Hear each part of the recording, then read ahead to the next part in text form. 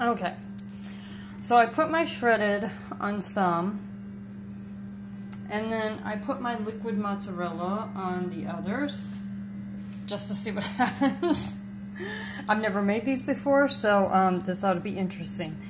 I'm doing this because I want to see, I mean, I'm not saying that it's not true.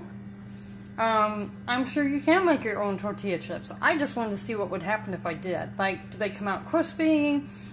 Like, does it taste like nachos? You know, what's the deal? So, I'm going to make these. Um, my oven's hot, and I'm going to put them in the oven, and then um, I'll come back to you when they are done, and I'll show you the finished product.